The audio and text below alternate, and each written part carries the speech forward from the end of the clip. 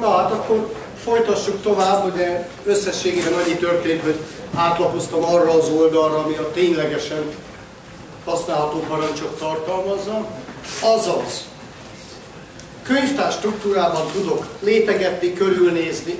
Ja nem, körülnézni azt még nem tudok. Hát akkor íme itt a parancs. Eles, nyilvánvalóan valamiféle listázó parancs lehet. Ez talán a karakteres felületen dolgozó emberek számára az egyik leggyakrabban használt eszköz. Legalábbis, hogyha nem olyan fényképezős aggyal rendelkezel, hogy egyszer körülnéztél a könyvtár struktúrában, és mondom, mindegyikről tudod, hogy hol van pontosan, hogy írják, pont van a nevében, vagy vesző, kötőjel, vagy aláhúzás, akkor azért az emberek általában úgy vannak vele, hogy jó, azt még csak-csak tudom, hogy valahol ott van a hómomban, de hogy pont milyen néven hoztam létre, abban nem vagyok biztos. Oké, nézzük meg. Igazából erre szolgál. Van pár jellegzetessége a működésének, emiatt aztán általában színtisztán magát az eles viszonylag ritkán használják. Egy. Van egy kellemes tulajdonsága, a könyvtárban, tehát amit te listázol, annak a tartalmát gyárilag ABC rendben listázza, függetlenül attól, hogy a fizikai elhelyezkedés persze nem feltétlenül, sőt, nagy valószínűséggel nem ez. Ennek normál körülmények között életben nem fogod a hátulütőjét érzékelni. Valaki esetleg rájönne, hogy ennek hol lesz kellemetlen következménye? Amikor valaki egy, valakivel kicsit elszalad a ló, és hogy belerak mondjuk 40 ezer fájt egy könyvtárba. Jellemző sajnos, hogy például naplózó környezetben szoktak ilyen vicceket csinálni, hogy hát akkor óránként naplózunk, nem kell ezt tovább struktúrálni. Minden évben egyet. És akkor te belégy a könyvtárba, azt mondod, hogy eles, és csak annyit látsz, hogy se kép, se hang. Ha esetleg ugye fültávolságra van a diszk, akkor hallod, hogy csörög, csattog, mert hát ugye először össze kell gyűjteni ezt a 40 ezer, aztán le kell rendezni. Ez azért néha, tényleg nagyon ritkán, de kellemetlen probléma. Annyira, hogy akit érdekel, majd ha már lesz manuálja, akkor nézzen utána, van olyan opciója az LS-nek, ami pontosan arra szól, hogy nem kérek rendezést. Indulj el és kezd el listázni. Nyilván feldolgozni nehézkesebb ezt a formát. Általában az ember kényelmesebbnek tekinti azt, ha valamilyen értelemben rendezett az a lista. Tovább megyek az LS alapértelmezetten csak kizárólag a fájlok nevét listázza, abból is csak a rejtetteket. Nem véletlen, hogy az egyik leggyakrabban használt opció a mínusz A paraméter az LS-nek, all, minden nyomorult fájt akarok látni, ha rejtett, ha nem az. Na most, mint említettem, minden könyvtárban létezik egy pont és egy pont-pont nevű bejegyzés, következésképpen, amikor te azt mondod, hogy LS-A, ez garantáltan kell, hogy valamilyen kimenetet adjon, mert ha más nem, a pont és két pont bejegyzést kell, hogy lássad. Egyébként kezdők számára általában eléggé kellemetlen látvány, amikor bemennek a saját ugye, frissen kapott rendszerükbe, eles, és nem kap egy árva büdös nyikot sem, mert az aktuális könyvtárban nincsen nem rejtett fáj, már pedig ugye az eles csak azt írja ki, ami muszáj. Tehát, ha biztos akarsz lenni abban, hogy ott mi van, akkor bizony majdnem minden esetben mondható, hogy eles. Zárójel, föl már nem írtam, én egyébként nagyon szeretem, az elesnek van egy nagy opciója, ami úgy szintén minden nyomorult rejtett fájt kír, de a pontot és a két pontot kihagyja a listából. Ez egyébként feldolgozás szempontjából sokkal jobb. Sokkal kényelmesebb, amikor azt mondom, hogy na, akkor innen töröljünk ki aztán mindent. Most ha ebben mindenben beveszem a pont-pontot, az legalábbis rendszergazdaként tud fájdalmas lenni. Ha felhasználó mindenféle extra jogok nélkül próbálkozik vele, akkor annyira nem gáz. Na most, ha a mínusz nagy opciót adom meg, akkor ugye eleve nem lesz benne a listában a pont és a két Na most, Az eles egyébként természetszerűleg úgy viselkedik, mint az eddig elhangzott parancsok, hogy ha nem adok semmit, akkor valamit az aktuális könyvtárral csinál, ha mondok valamit, akkor pedig azzal, amit mondtam. Tehát ha én bárhol állok, szokás szerint abszolút, illetve relatív útvonalon bármely más területről is kérhetek listát. LS per ETC, LS pont, pont per pont, pont. Ez ugye a kettővel fölöttem levő könyvtárat listázza ki. Na most, minden esetben a gyári alapbeállítás, hogy a könyvtár tartalmát, majd az abban levő alkönyvtárak, egyéb fájlok nevét. Ha ennél kicsit több információ kell, akkor javasolt a mínusz L, vagy long listázás. Ebben az esetben a fájlok elég sok jellemzőjét is megkapom a kimenetben. Ilyenkor egy sor egy bejegyzés, és ebben lesz olyan, hogy ezt a fájlt mikor módosították utoljára, lesz benne információ a fájl hozzáférési jogairól, lesz a fájl méretére vonatkozó információ, meg egy halom egyéb. Azaz, őszintén az a tapasztalat, hogy aki még mindig karakteres feleten nyomja az ipart, az eléggé sokszor nem elest, hanem ns-alt, és esetleg egy mínusz ellet használ, majd, hogy nem automatikusan.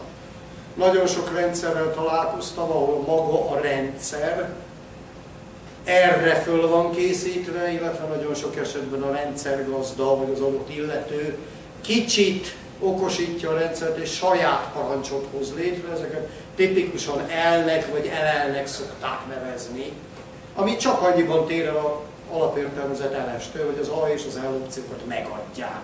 Mondván, hogy egyszer hajlandó vagyok beállítani, de ugye napi ezerszer fogom kiadni a parancsot, elég hamar megvet nyerni azt a fáradtságot, hogy létrehoztam egy ilyen saját parancsot.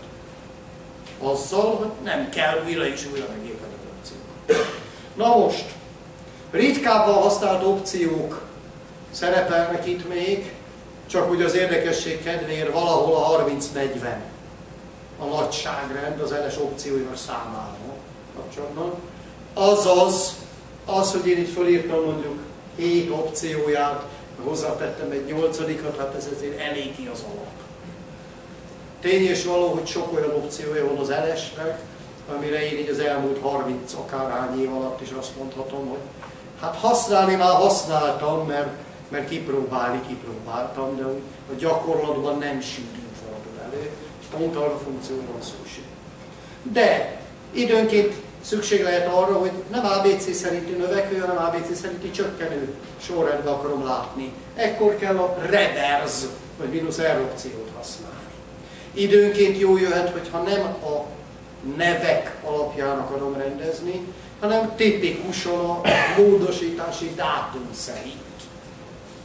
Régebben listázott, vagy régebben módosult, vagy újabban Természetesen itt is érvényes, hogy több opciót össze lehet fogni, tehát hogyha megadom a T, azaz idő szerinti rendezést is, meg megadom az R-et is, akkor természetesen idő szerinti rendezés lesz, csak éppen megfordítjuk. Az egyik esetben elől vannak a régebbiek, hátul az újabbak, másik esetben fordítva. A lista elejére kerülnek az újabbak, frissebben módosult fájlok, és a lista legvégére kerül azok, kerülnek azok, amik elég öregek, és elég régóta nem hozzá senki. Na most, ahogyan a felhasználókkal kapcsolatban legalább kétszer elmondtam, hogy te az esetek többségében a felhasználók nevét használod azonosításra, a csoportok nevét használod, a rendszer számára ezzel szemben a felhasználók is, a csoportok is egyszerű számként jelennek meg. Ugyanez igazából a fájlokra is igaz. Te ugyan megmondod, hogy a könyvtár struktúrában hol legyen ez a fájl, milyen alkönyvtárban, milyen néven akarod elérni, de a rendszer szempontjából nézve a fájlok egész egyszerűen egy darab nem negatív egészként reprezentálódnak, azaz minden fájlnak van egy egyedi, számszerű azonosítója. Annyi az eltérés mondjuk a felhasználói nevekhez képest, hogy ez az egyedi azonosító, szép, elegáns, hivatalos néven inode number, vagy inode szám, ez nem globálisan a rendszerre nézve egyedi, hanem csak az egyes fájrendszerekre nézve egyedi. Ugye elhangzott az elején, diszkek, partíciók, és ezekre rakok fájrendszert. Tehát ha nekem van három partíció három fájrendszeren, akkor elvileg semmi akadálya annak, hogy nekem legyen három olyan fájlom is, aminek az egyedi azonosítója 4119. Természetesen, mivel az egyedi azonosító a fájrendszerhez tartozik, tehát ha megmondod, hogy melyik fájrendszerben levő egyedi azonosítóra hivatkozol, akkor persze abszolút, teljesen egyértelműen azonosítottad a fájlt. Őszintén szólva, ez az azonosító leginkább hibás, összeomlott a rendszer, gáz van a fájrendszerrel, valami nagyon nagy probléma történt, jellegű környezetben vagy esetek során szokott érdekes lenni. Ennek ellenére úgy éreztem, hogy nem baj, ha ez éppen egy olyan ritkán használt információ, amihez tartozó adatot megadjuk, tehát most már tudod, a mínusz i opció ennek a konkrét számnak a kilistázására szolgál. Mondom, a szerencsére az életben nem kell használni. Csak hogy az érdekesség kedvéért ide is, ugye erre az oldalra is írtam jó pár angol kifejezést, többek között ugye magát az inode-ot is szigorúan angolul írtam, ugyanúgy, ahogy a directory is directory-nak mondom, csak azért, hogy mindenki örüljön, van neki magyar neve, úgy hívják, hogy e-bug. Na most, ha esetleg véletlenségből úgy gondolod, hogy szerinted nincs olyan szó, hogy bug, akkor nem állsz messze az igazságtól. Van, csak relatív kevesen ismerik ebben az országban, átlagos ember, amikor ezt meghallja, akkor elkezd járni az agya, és jobb esetben azt mondja, hogy bögölj, na ez nem nyert. Van, aki azt mondja, hogy göbb, van, aki azt mondja, hogy bóg, és ezeknek igazuk van, ez ugyanis a három szinoníma. Csomó egyébként, vagy csomópont, ez a bög, és egyébként az egyik legelső magyar nyelven megjelent Unixos könyv fordítója. Ültette el ezt az információt. Hát azóta, aki ezt a könyvet olvassa, az tudja, hogy ezt az izét így hívják, aki nem olvasta, az még általában nem érte, hogy miről beszélnek. Úgyhogy ha hivatalosan kéne, akkor e kéne őt emlegetni, ennek ellenére ezt általában e ejtik, és akkor ettől ez már magyarul van. Ha angolul lenne, akkor az inode lenne, ha inode-nak mondom, akkor az már nyilván magyar.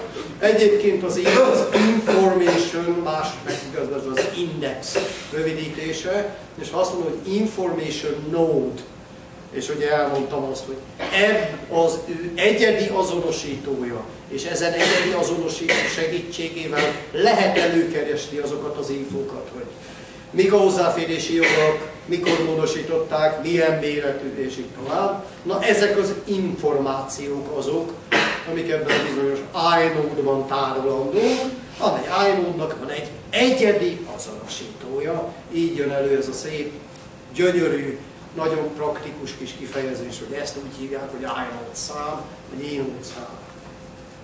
Na most ugye az LS L opciója kapcsán elhangzott, hogy ha ezt is megadom, akkor ugye megkapom ezeket az egyébként az inode-ban tárolt információkat valami jól meghatározott sorrendben. Oké, okay. adok egy listázó parancsot, ls. Ja nem jó, mert nem látom a rejtetteket. Oké, okay. ls minusz a, kicsi vagy nagy, igazából most mindegy. Oké, okay, kapok egy halom nevet. De igazából én nem az aktuális könyvtárat szeretném kilistázni, hanem mondjuk egy másikat, például a per TMP nevű könyvtárat. Oké, okay, akkor ls minusz L per TMP, ls minusz AL per TMP. Majd jön a pont, egyébként viszonylag ritkán, amikor az jön elő, hogy nagyon jó, hogy az L opció a különböző a listázásban szereplő fájlok jellemzőjét kiírja. De én konkrétan ezeket a jellemzőket a paraméterként megadott könyvtárról szeretném megtudni.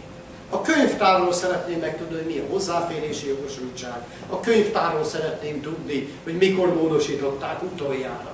És ebben az esetben, hogy használom azt, ami elvárható, hogy ls-l könyvtárnév, akkor ez abszolút nem jó, mert ugye könyvtár paraméter esetén én a könyvtárban szereplő fájlokról kapom meg ezt az infót.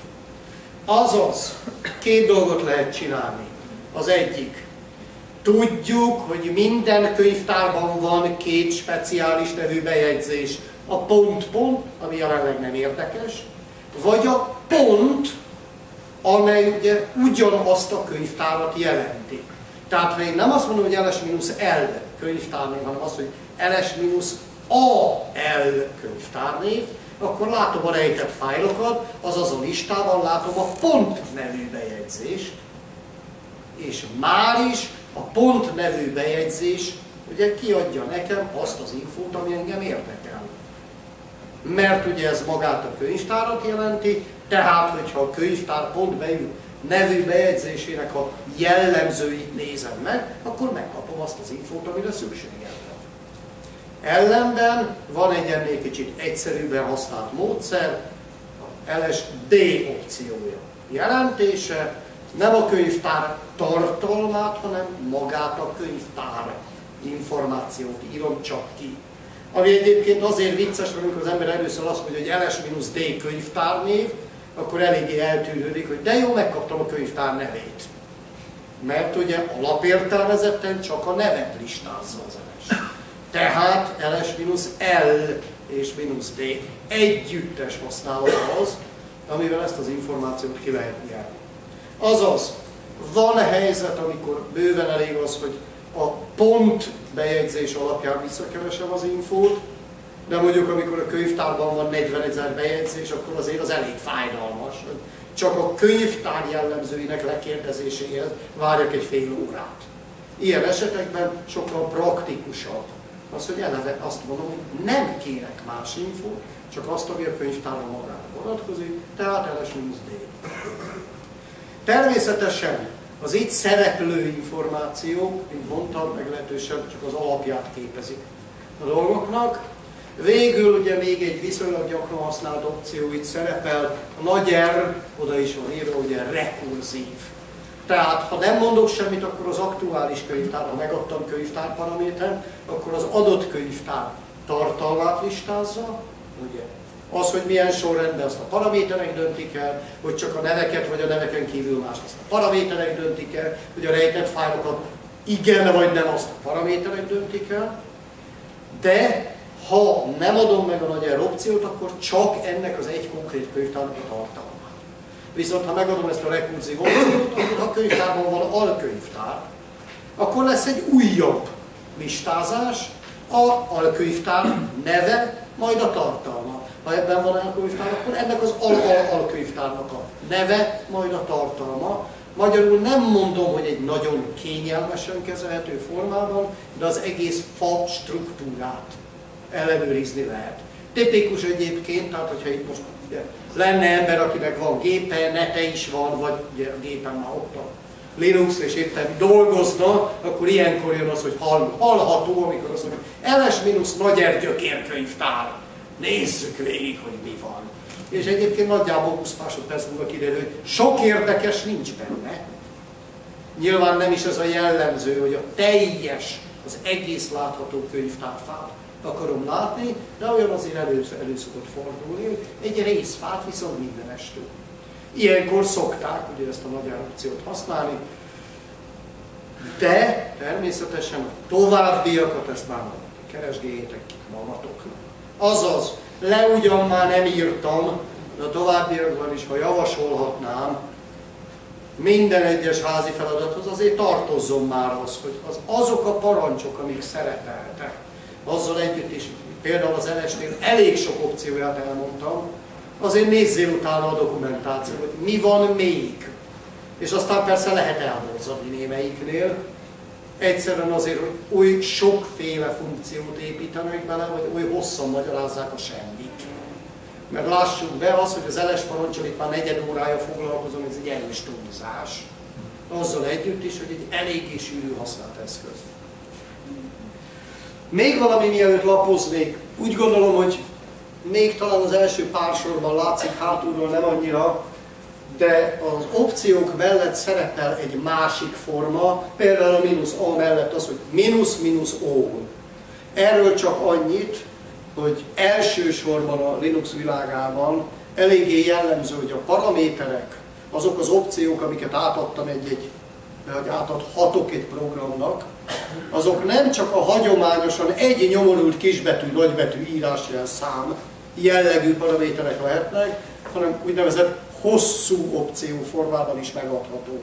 Tipikusan úgy, hogy mínusz-mínusz, és utána jön egy fél kilométeres angol kifejezés.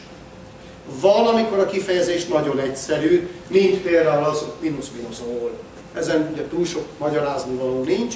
Van, amikor a kifejezés tényleg elég hosszú,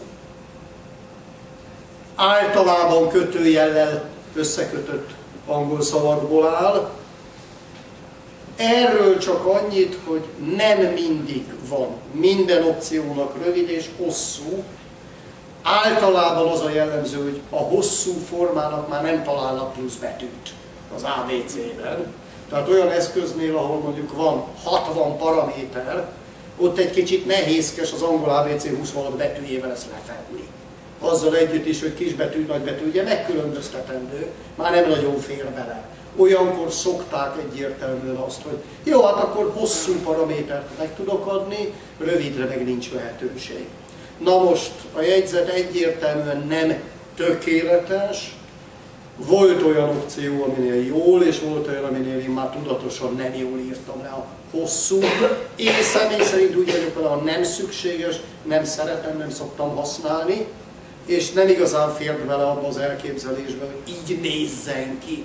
Ezért aztán mondjuk a hosszú opciókat ne feltétlenül hidd el ebből a kis dokumentációból. Természetesen nézd meg a novát. Na most, bocsánatot kérlek.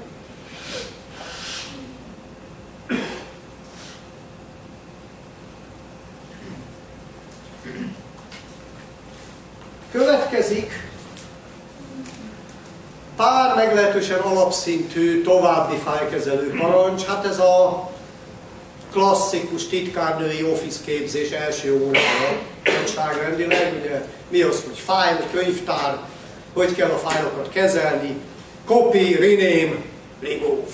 Nagyságrendileg ezeket fedi le az itt található következő pár oldal. Úgy gondolom túl sok bonyolultságot nem jelent, ha azt mondom, hogy a CP parancs az a copy, hozzá tartozik az igazsághoz, nem lehet hosszú formában használni. Azaz, szigorúan csak azért írtam ide, mert volt már rá példa, hogy én úgy gondolom, hogy jobb, ha megmondom, hogy milyen angol kifejezésből adódik az a rövidítés, és volt rá például, hogy egyszer félreértették, hogy én mit mondtam. Tehát ugye a listázásnál, az előző pártalancsnál is igyekeztem odaérni, itt sem azért szerepel, mert írhatnám így is. A parancs az, hogy cöpel. A parancs az, hogy MV azzal együtt is, hogy az például kitalálható, hogy a move rövidítése. No szóval, ezen az oldalon van három parancs. File másoló parancs, cöpön. File átnevezésre, vagy file mozgatásra szolgáló parancs, neve MV. Nyilvánvalóan kicsit gondolkodni kell, de elég triviális kitalálni. Ha a fájt ugyanabban a könyvtárban mozgatom át, akkor nyilván nem nevezhetem mozgatásnak, akkor általában azt mondom, hogy átnevezem a fájt. Azt mondom, hogy a fájt eddig per izé per valaminek hívják, most pedig izé per más velemnek hívják. Ugye a helye megmaradt, ellenben a neve változott. Tehát azt mondhatnám, hogy átnevezés. De azt mondom, hogy eddig a fájl a per izé könyvtárban valami néven volt, most pedig a akármi könyvtárban lesz valami néven, akkor ugye az átnevezést nem annyira akkor sokkal inkább illeszkedik rá az, hogy átmozgatom. Természetszerűleg egy művelettel megtehetem azt, hogy a helyét is, és a fájl saját nevét is változtatom, azaz egyidejűleg mozgatom és átnevezem. Illetve itt a harmadik parancs, neve Ellen, és az angol link szóból adódott, aminek a legnagyobb problémája, hogy eddig jó magyar elnevezést még nem láttam. Rosszat már párat igen. Azaz, valaki szereti kapocsnak hívni. Ettől nekem a hátam borsózik. Van, aki csatolásnak. Ezzel két bajom van ettől, föláll a szőr a hátamon, ráadásul a csatolást egy egész más funkcióra sokkal elterjedtebben használják. Van, aki meg úgy, mint én, azt mondja, hogy link.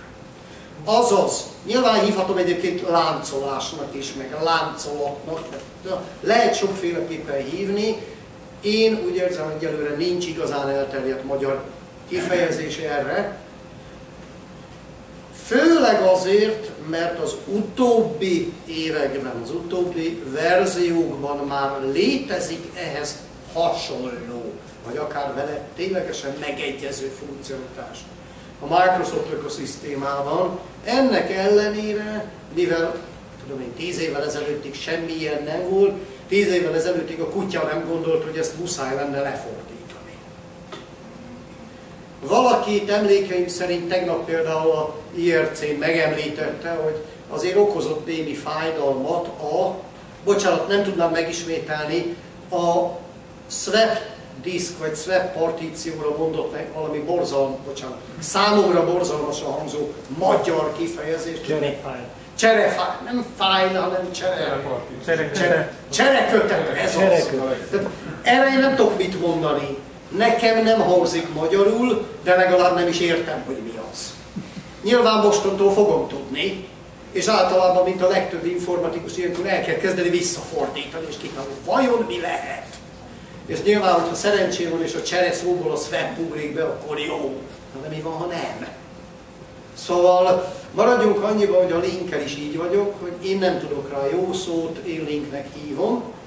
Lényege a következő. A Unixos, Linuxos világ lehetővé teszi azt, hogy ugyanahhoz a fizikai adathoz te több nevet rendelj hozzá. Nyilvánvalóan az egyik legpraktikusabb része, hogy van egy fájl, ami egy 50 mély könyvtár struktúra alján van, te viszont nem szeretnél 10 percenként 6 kilométernyi parancsot begépelni. Hogy a fájl, amit szerkeszteni akarok, az a per izé, vizé, per recept, per akármi, per itt van, per ott van, per amott van. Na nem csinálsz hozzá egy linket, valami könnyebben megjegyezhető, rövidebb, könnyebben elérhető néven. Tulajdonképpen ezt hívjuk így, hogy per valami, per nekem marha fontos. Készen vagyunk. Adat egy darab van, de neve már kettő. Természetesen csinálhatsz harmadik, negyedik, ötödik, századik nevet is. Itt is létezik egyébként felső korlát, tehát valami hasból mondom, 256 névnél több nem lehet. Más kérdés, hogy 3, 4, 5 nem igazán jellemző, hogy több. Őszintén én hármat, hármat mondanék, ha nem az lenne az alapfelállás, hogy van olyan standard parancs, hat különböző linkje van a rendszerben, tehát hat néven lehet őt elérni, ugyanazt az egy nyomoroncot, de ez nem felhasználó, ezt így csinálták a rendszerben. Ma a felhasználók zöme 2-3 linknél többet nem csinál. Na most, ez a három parancs elég közeli, mondjuk egy rokonságot mutat. Szintaxisban teljesen ugyanúgy kell őket használni. Nyilván, ha cöpő van a parancs elején, akkor létrehozok egy fájlból egy új példányt. Ugye a létrehozás pillanatától kezdve az eredeti és az új fájl között már semmiféle kapcsolat nincs. Ha még pár másodpercig senki nem módosította, akkor a két fáj tartalma megegyezik. De egyébként semmilyen kapcsolat nincs köztük. Bármelyiket szabadon szerkeszthetem, és onnantól kezdve már különbözők lesznek. Nyilván törlöm az egyiket, ott a másik törlöm a másikat, megmarad az egyik. Ez innentől kezdve két fáj. A move ugye a fájlon magán nem változtat. Marad változatlan egy fájl. Csak éppen valahol máshol látszik a könyvtár struktúrában, más néven látszik. Ha precíz akarnék, akkor egyszerűen azt mondanám, az abszolút elérési útvonalában valami megváltozik, attól, hogy azt mondtam, hogy move. Míg a link esetében változaton egy darab adatom van, de már két, vagy három, vagy öt, vagy tíz néven érem el ugyanazt az adatot. Nagyon lényeges, hogy a kopival ellentétben a két link által létrejött, mondjuk úgy, hogy új és ugye az eredeti adat között nagyon szoros a kapcsolat, lévén ugyanaz az adat érhető el a másik néven. Kicsit ugye ódivatúnak tűnik, jó, visszavonom, ez nem igaz, mert ma is lehet ilyet, csak nem jellemző. Szóval amikor régen házasságban a nő elveszítette úgymond a nevét, és felvette a férje nevét, változott. Ma ugye rájöttem, hogy ez fordítva is lehet. Ilyen embert még nem láttam ma, például kicsit elterjedtebb, hogy keresztre veszik fel egymás vezetéknevét. Azaz, attól, hogy ő megházasodott, ő ugyanaz az ember maradt, csak lett neki egy új neve. Esetleg új neve is. A link esetében itt ugye új neve is lett. Az, hogy mennyi, az rajta múlik. Viszont ne felejtsd el, ez egy darab név, nem csak egy darab adat, több néven. Tehát bármelyik néven módosítod, az látható a másikon. Onnantól kezdve a különböző neveken ugyanazt a módosult adattartalmat foglalja.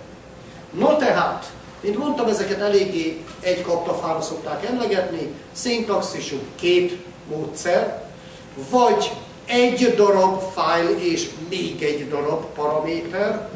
Ez egyébként tipikusan fájlnév, fájlnév, ritkábban fájlnév, könyvtárnév formátumú.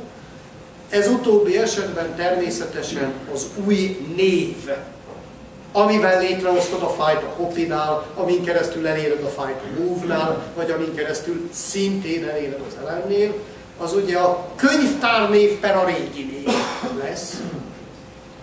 De jellemzően, még egyszer mondom, fájnév, fájnév.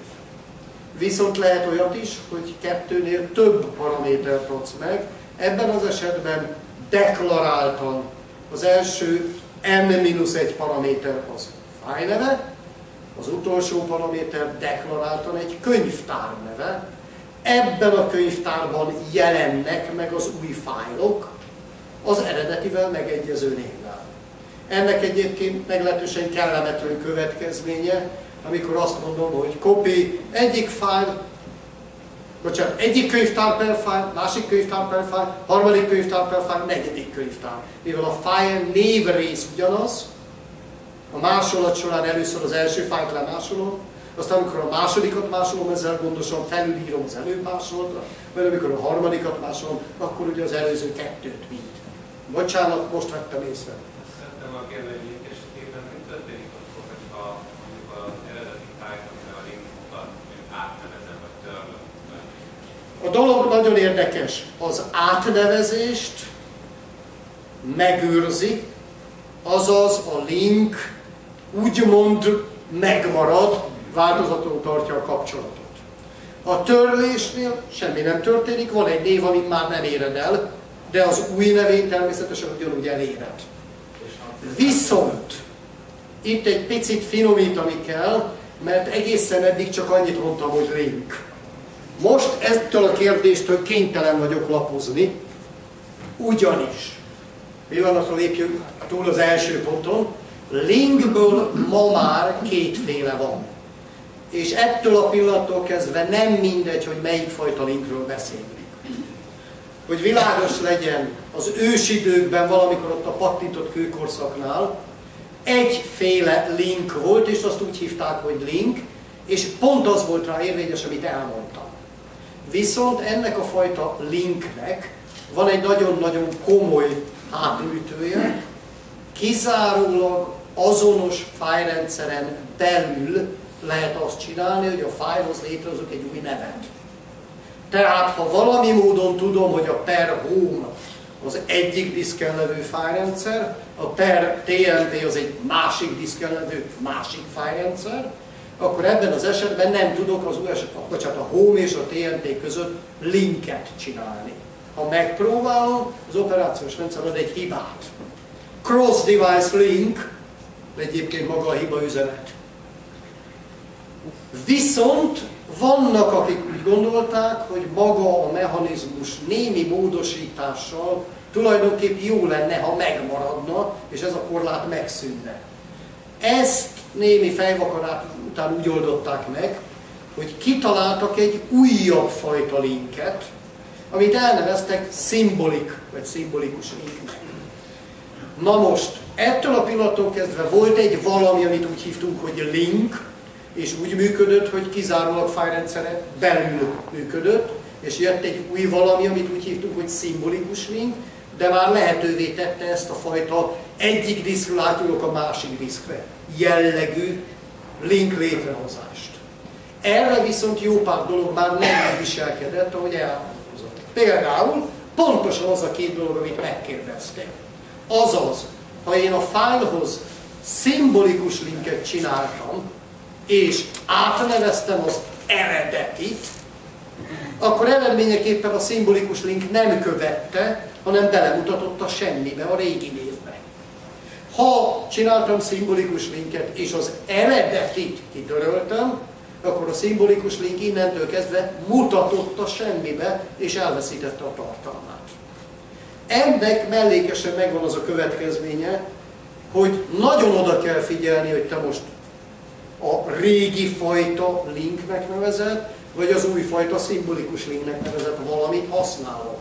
Én személy szerint azt szoktam mondani, hogy használj mindig régit, olcsóbb, kevesebb erőforrást igényel, és sokkal kevesebb probléma van vele.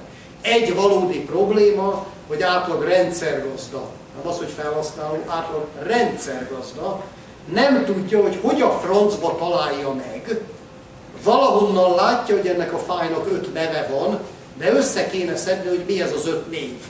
Nagyon nehéz kideríteni azt, hogy akik ugyanarra az adatra hivatkozó linkek, azok technikailag a rendszerben milyen néven szerepelnek. Nem azt mondom, hogy lehetetlen, csak azt, hogy kevesen szokták tudni. Szimbolikus link esetén ez utóbbi, ez nagyon egyszerű, mert amit létrehoztál link, az mutatja, hogy oda hivatkozom arra a fájra, aminek az a neve, hogy. Hátulütője minden egyéb esetben rosszabb módon viselkedik. Azaz én azt szoktam mondani, hogy ha ténylegesen tudatosan különböző fájrendszerek között kell a link, akkor csinálj színlinket. Ha egy fájrendszeren belül vagy, akkor használd a másikat. Na most ebben nem menjünk bele, lehet, hogy a két kollega itt erőteljesen ellent mondana, azaz újfel mondom, ez a saját véleményem, Nyilvánvalóan mindenki magának szépen lassan az idők során majd lemondja azt a következtetést, hogy ő melyiket szereti jobban. Simlinkkel sokkal könnyebb, nagyon-nagyon-nagyon kellemetlen problémákba beleütközni, mint ezzel az úgynevezett hagyományossal. Na most, hogy végre tisztába tegyük, van a régi fajta link, ami link, meg az új fajta, amit simlinknek hívnak, csak aztán a későbbiek során úgy döntöttek, hogy ez egy totálisan abnormális elnevezés, és innentől kezdve mondják azt, hogy amit én úgy fogalmaztam, hogy az eredeti, a régi fajta, vagy klasszikus nevén link, azt innentől hívjuk úgy, hogy hard link, magyarul mondjuk kemény kötés, az új fajtát meg hívjuk úgy, hogy simlink, szimbolikus link, vagy soft link, mondjuk puha kötés. Abban az értelemben egyébként az elnevezés teljesen jogos, hogy pontosan ez történik, hogy a hardlinknél megmarad a kapcsolat. Átnevezem a fájt, és érzékeli, hogy az adat az a kicsoda, és, és megtalálja. Simlinknél, softlinknél pont ez történik. Elveszik a kapcsolat. Sokkal kevésbé kezelhető. Ettől függetlenül vannak, akik nagyon szeretik a simlinket, sőt találkoztam olyannal, aki egyértelműen megfelelő bizonyítékokkal alátámasztva próbálta a világnak megmagyarázni, hogy miért kéne magát a hagyományos hardlinket megszüntetni. Az érveket értettem, egyet nem értek vele egyébként.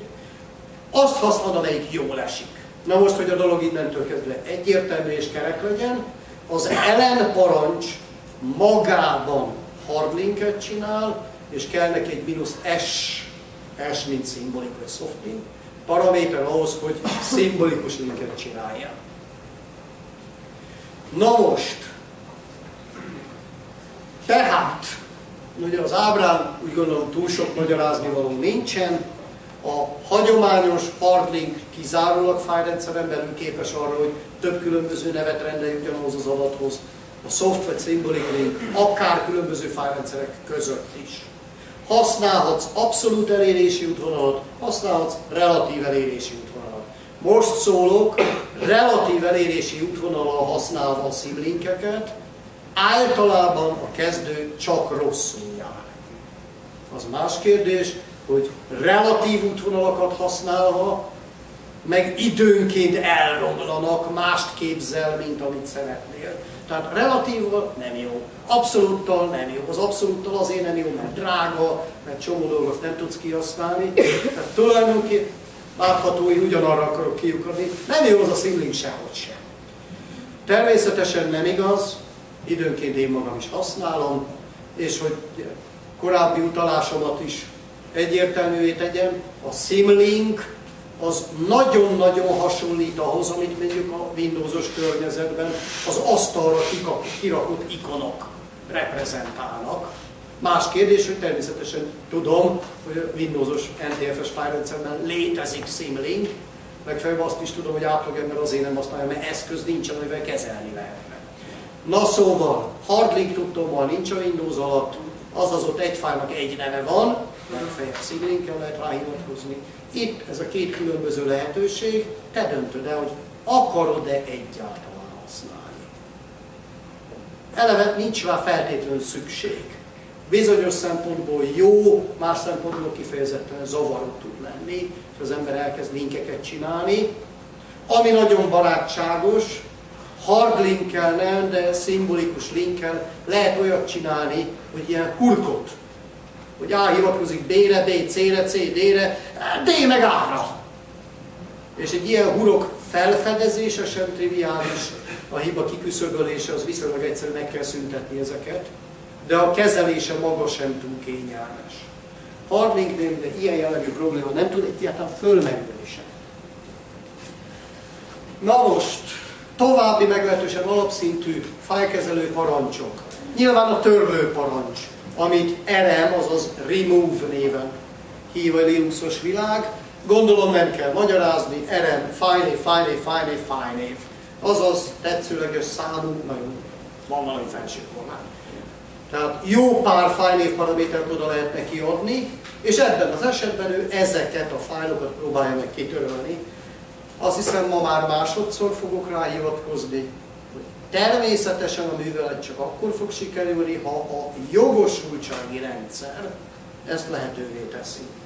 Ez elvileg valamikor a mai nap során végre el is fog hangozni, hogy hogy néz ki ez a jogosultsági rendszer. Egyelőre tudjál róla, kaphatsz hiba üzenetet. Na most, ki már nem írtam, az elemnek két olyan, jó, három opcióját szokták használni. Az egyik a mínusz i, Hivatalosan az interaktív rövidítése azt jelenti, hogy ha te több fájnév paramétert adtál meg bármilyen módon, akkor ő minden áldott fájnál rákérdez, hogy akarsz-e törölni.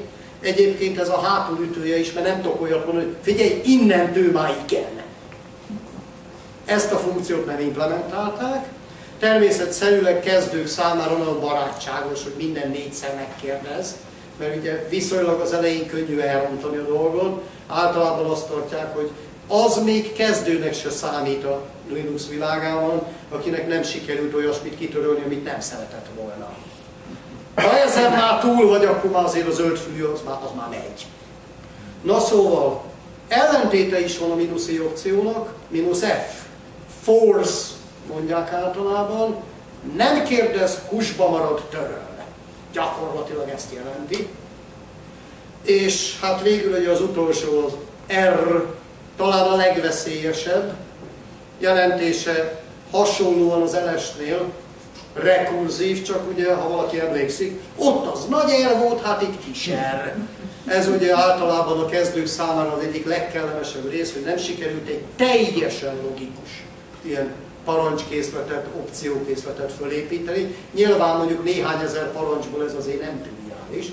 A lényeg, rm-r jelentése, ha könyvtár nevet adok, akkor a könyvtárban levőket, meg az alkönyvtáraiban levőket, meg a legalján levőket is, mindenestül magyarul az egész könyvtár struktúrát törli. Gondolom, nem nagyon kell dekódolnom azt a klasszikus internetes viccet, ami úgy néz ki, hogy hogyan kell megoldani, hogy van egy kis problémám, telepítettem a szerver, dolgozik, működik, izé, csak a tegnapi sikertel leállítás után fájrendszer probléma van. Semmi. RM-RF gyökérkönyvtár. Ez valóban megoldja a fájrendszer problémát, mert ugye egy árva hangot nem kérdez, jó lassan egyébként, de végig megy a könyvtár struktúrán, és megpróbál mindent kitörölni. Én egyébként, hogy a adott történet, ami állítólag tényleg megtörtént a magyar internet berkein, szóval az a, hozzáfűzném, hogy néhány helyen sántít, mert ha egyébként fájrendszer probléma van, akkor ez nem oldja meg, mert valahol el fog hasalni. Ellenben én azt mindig el szoktam mondani, hogy ha te kezdő vagy, van saját magad egy Linuxos, Unixos hozzáférésed, ahol neked nincsen rendszergazdaró jogosultságod, nyugodtan add ki a parancsot. Nem lenne szabad problémát okozzon. Mármint rajtad kívül másnak. Nyilván a kapsz, pontosabban kapnál egy több tonnányi hibaüzenetet, hogy ehhez nincs jogod, ehhez nincs jogod, ehhez nincs jogod, ezt ugye a mínusz F-fel lazamozdottal felülbíráltad, Viszont mivel nincs hozzá jogod ugye a rendszerből, nem igazán tudsz törölni, kizárólag a sajátjaidat. Ezt meg ugye elvileg el kell tudjad viselni, mert hát ugye kezdőként nyilván nem tárolsz még rendkívül fontos államtitkokat az adott gépen. Én egyébként azt is hozzá szoktam tenni, hogy én őszintén egy valódi rendszerben is el tudom ezt képzelni, legfeljebb előtte érdemes a rendszergazdával tárgyalni egy normális rendszergazda ugyanis pontosan ugyanúgy végig tudja gondolni, hogy nem szabad, hogy problémát okozzon ez a művelet. Maga a tény, hogy problémát okoz, az azt jelenti, hogy a rendszerben valami hiba van. Nyilván, ha ezt a hibát én előre jelzem, hogy lehet arra számítani, nincs -e kedved végre egy öt év után egyszer egy mentést végrehajtani, az egy pozitív valami, mint hogyha csak azt mondom, hogy tudod mit, tönkre teszem az eddigi munkádat. Annyira ezt azért nyilván nem díjaznák. Ennek ellenére elvileg persze nem szabad, hogy túl sok ö, problémát okozzon, nem feltétlenül megoldás. Egyszer jó vele játszani, de... No, hát a példán kapcsolatban, Ugye az Ellen parancsról mondtam törvés, és egyébként itt rákérdeztél a hard link, illetve a linknél a törlésre, általában nehezen szokott leesni, hogy a link ellentéte az a törvényparancs. Igazság szerint.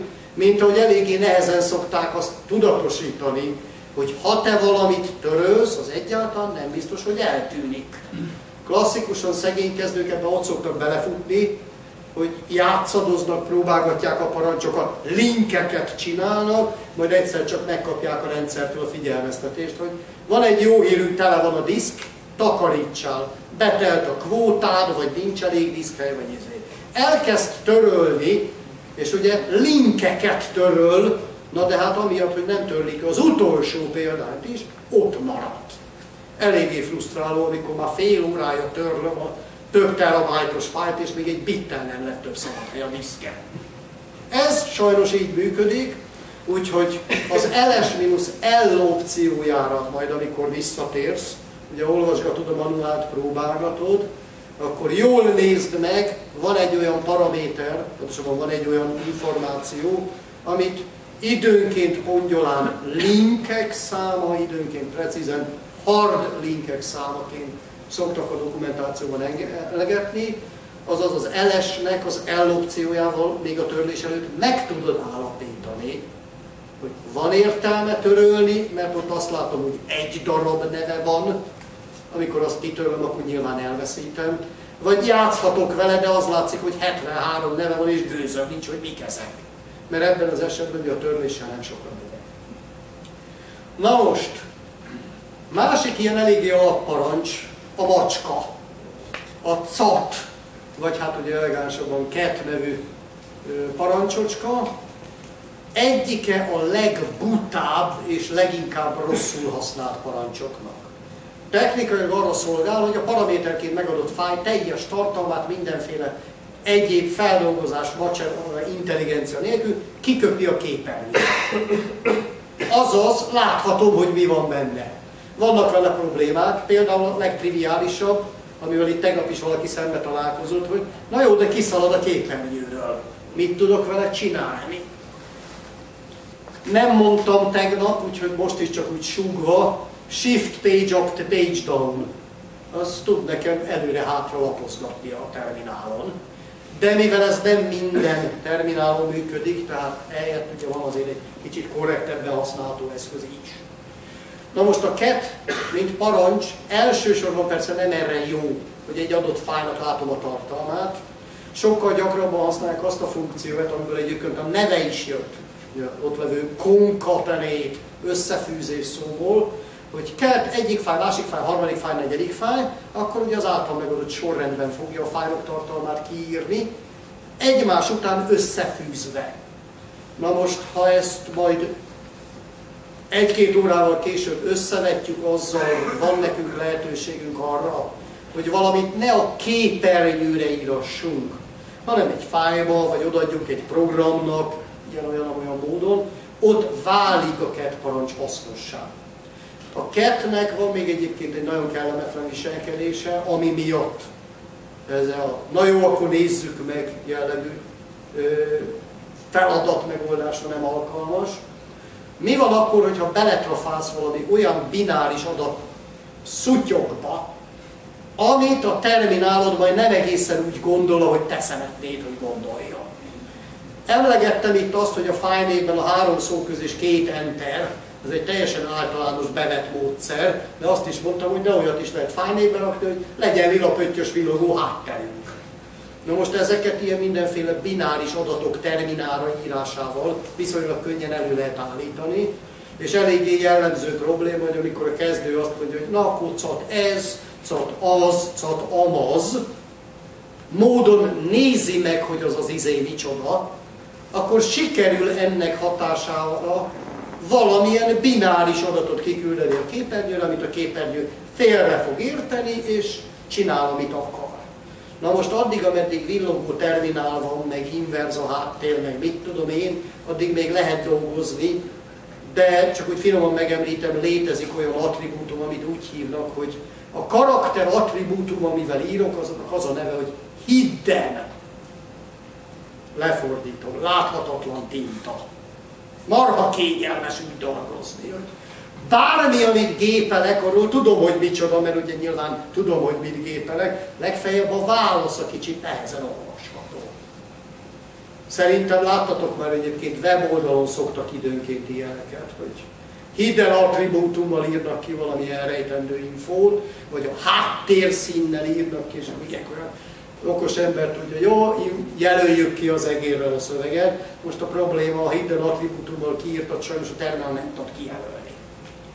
Úgyhogy maradjunk annyiba, hogy arra a ketet használni, és most megnézem, hogy mi van egy fájlban, arra nem igazán javasolt. Arra vannak ennél okosabb parancsok, arra használd azt. Természetesen ezekről is lesz majd szó. Na most, gondolom nem mondok újdonságot, létezik egy elég gyakran használt módszer adatokkal való helyspórolás, a tömörítés. Na most klasszikusan a ilyen elterjedt oprendszerekben a tömörítés azt jelenti, hogy veszek 3, 4, 5, 10 fájlkönyvtárat, és egy csomagba összerakom. A Unix-Linux világ azt mondja, hogy ez nem jó. Ez két különböző dolog. Az egyik dolog, hogy összerakom egy kupacba az összes fájlt, és a másik, hogy úgy tárolom, hogy kevesebb helyet foglaljon. Azaz, itt hagyományosan külön végzik azt, hogy a kupac egy-két legyen kezelhető, illetve külön kezelik azt, hogy de kevesebb helyet foglaljon, mint az ő együttes. Ezért aztán van rá külön parancs, Viszont ma már Linux alatt vannak olyanok, amelyek ugyanezeket a parancsokat, illetve ugyanezeket a funkciókat egy parancsban, hasonlóan mondjuk a Windows-on megszokott módon megteszik.